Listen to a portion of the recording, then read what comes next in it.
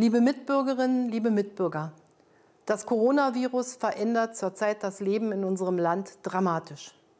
Unsere Vorstellung von Normalität, von öffentlichem Leben, von sozialem Miteinander, all das wird auf die Probe gestellt wie nie zuvor. Millionen von ihnen können nicht zur Arbeit. Ihre Kinder können nicht zur Schule oder in die Kita. Theater und Kinos und Geschäfte sind geschlossen. Und was vielleicht das Schwerste ist, uns allen fehlen die Begegnungen, die sonst selbstverständlich sind. Natürlich ist jeder von uns in solch einer Situation voller Fragen und voller Sorgen, wie es weitergeht. Ich wende mich heute auf diesem ungewöhnlichen Weg an Sie, weil ich Ihnen sagen will, was mich als Bundeskanzlerin und alle meine Kollegen in der Bundesregierung in dieser Situation leitet. Das gehört zu einer offenen Demokratie, dass wir die politischen Entscheidungen auch transparent machen und erläutern, dass wir unser Handeln möglichst gut begründen und kommunizieren, damit es nachvollziehbar wird. Ich glaube fest daran, dass wir diese Aufgabe bestehen, wenn wirklich alle Bürgerinnen und Bürger sie als ihre Aufgabe begreifen. Deswegen lassen Sie mich sagen, es ist ernst. Nehmen Sie es auch ernst. Seit der deutschen Einheit, nein, seit dem Zweiten Weltkrieg gab es keine Herausforderung an unser Land mehr, bei der es so sehr auf unser gemeinsames, solidarisches Handeln ankommt. Ich möchte Ihnen erklären, wo wir aktuell stehen in der Epidemie was die Bundesregierung und die staatlichen Ebenen tun, um alle in unserer Gemeinschaft zu schützen und den ökonomischen, sozialen, kulturellen Schaden zu begrenzen. Aber ich möchte Ihnen auch vermitteln, warum es Sie dafür braucht und was jeder und jede Einzelne dazu beitragen kann. Zur Epidemie.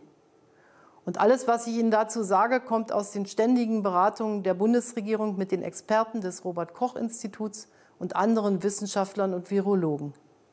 Es wird weltweit unter Hochdruck geforscht, aber noch gibt es weder eine Therapie gegen das Coronavirus noch einen Impfstoff.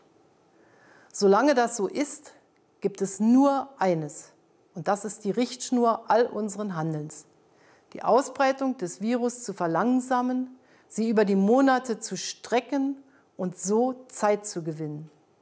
Zeit, damit die Forschung ein Medikament und einen Impfstoff entwickeln kann, aber vor allem auch Zeit, damit diejenigen, die erkranken, bestmöglich versorgt werden können. Deutschland hat ein exzellentes Gesundheitssystem, vielleicht eines der besten der Welt. Das kann uns Zuversicht geben. Aber auch unsere Krankenhäuser wären völlig überfordert, wenn in kürzester Zeit zu viele Patienten eingeliefert würden, die einen schweren Verlauf der Corona-Infektion erleiden. Das sind nicht einfach abstrakte Zahlen in einer Statistik, sondern das ist ein Vater oder Großvater, eine Mutter oder Großmutter, eine Partnerin oder Partner. Es sind Menschen. Und wir sind eine Gemeinschaft, in der jedes Leben und jeder Mensch zählt. Ich möchte mich bei dieser Gelegenheit zuallererst an alle wenden, die als Ärzte oder Ärztinnen im Pflegedienst oder in einer sonstigen Funktion in unseren Krankenhäusern und überhaupt im Gesundheitswesen arbeiten. Sie stehen für uns in diesem Kampf in der vordersten Linie. Sie sehen als Erste die Kranken und wie schwer manche Verläufe der Infektion sind. Und jeden Tag gehen Sie aufs Neue an Ihre Arbeit und sind für die Menschen da.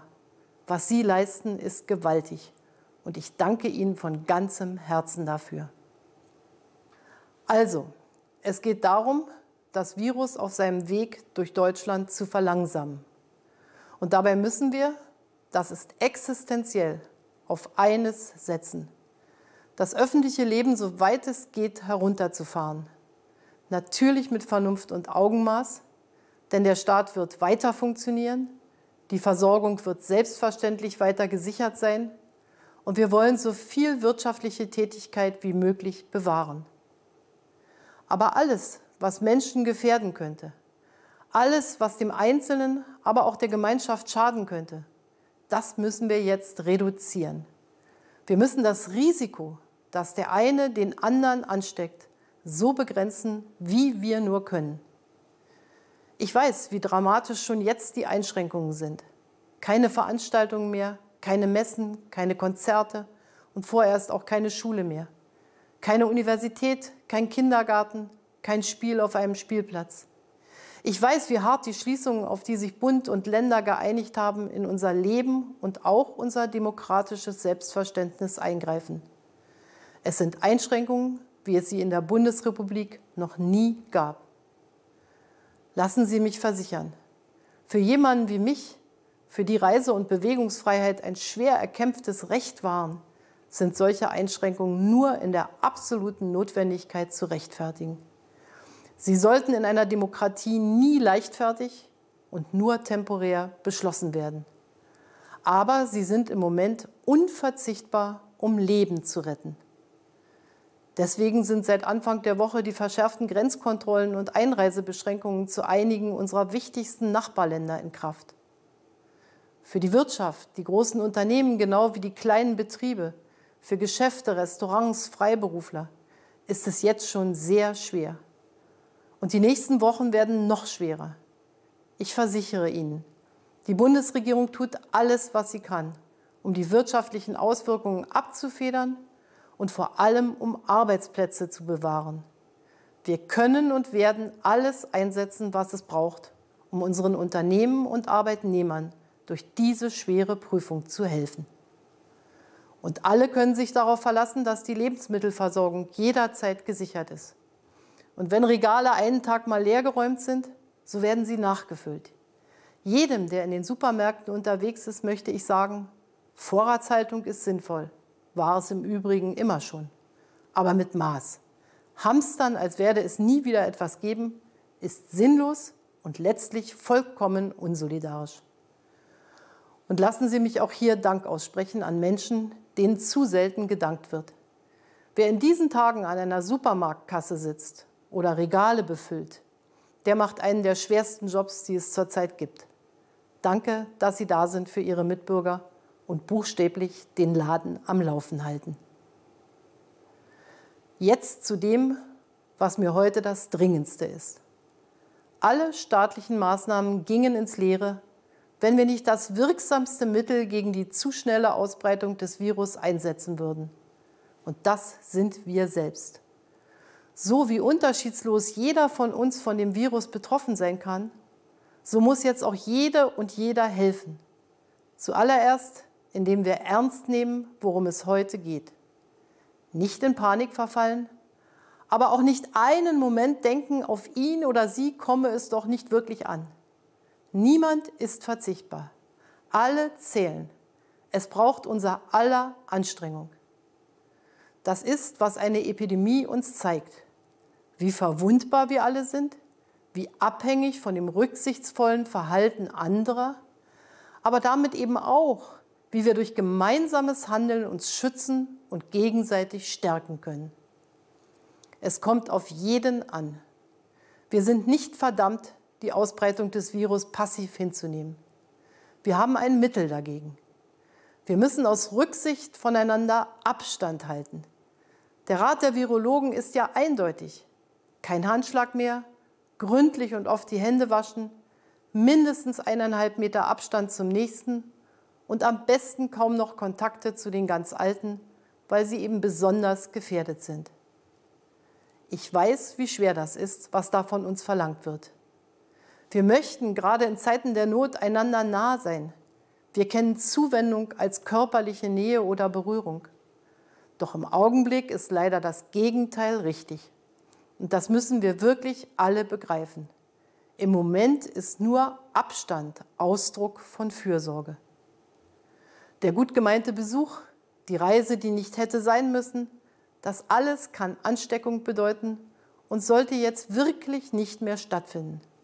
Es hat seinen Grund, warum die Experten sagen, Großeltern und Enkel sollten nicht zusammenkommen. Wer unnötige Begegnungen vermeidet, hilft allen, die sich in den Krankenhäusern um täglich mehr Fälle kümmern müssen. So retten wir Leben.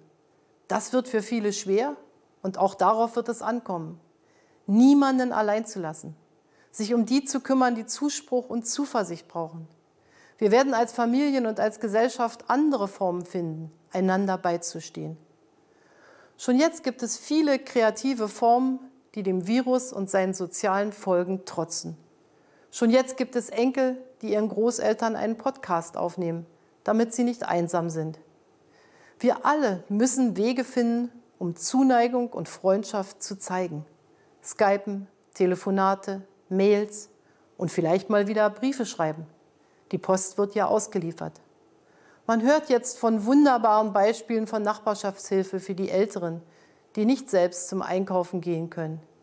Ich bin sicher, da geht noch viel mehr und wir werden als Gemeinschaft zeigen, dass wir einander nicht allein lassen. Ich appelliere an Sie. Halten Sie sich an die Regeln, die nun für die nächste Zeit gelten. Wir werden als Regierung stets neu prüfen, was sich wieder korrigieren lässt, aber auch, was womöglich noch nötig ist. Dies ist eine dynamische Situation und wir werden in ihr lernfähig bleiben, um jederzeit umdenken und mit anderen Instrumenten reagieren zu können. Auch das werden wir dann erklären. Deswegen bitte ich Sie, glauben Sie keinen Gerüchten, sondern nur den offiziellen Mitteilungen, die wir immer auch in viele Sprachen übersetzen lassen. Wir sind eine Demokratie wir leben nicht von Zwang, sondern von geteiltem Wissen und Mitwirkung. Dies ist eine historische Aufgabe und sie ist nur gemeinsam zu bewältigen. Dass wir diese Krise überwinden werden, dessen bin ich vollkommen sicher. Aber wie hoch werden die Opfer sein? Wie viele geliebte Menschen werden wir verlieren? Wir haben es zu einem großen Teil selbst in der Hand. Wir können jetzt entschlossen alle miteinander reagieren. Wir können die aktuellen Einschränkungen annehmen und einander beistehen. Diese Situation ist ernst und sie ist offen. Das heißt, es wird nicht nur, aber auch davon abhängen, wie diszipliniert jeder und jede die Regeln befolgt und umsetzt. Wir müssen, auch wenn wir so etwas noch nie erlebt haben, zeigen, dass wir herzlich und vernünftig handeln und so Leben retten. Es kommt ohne Ausnahme auf jeden Einzelnen und damit auf uns alle an. Passen Sie gut auf sich und auf Ihre Liebsten auf. Ich danke Ihnen.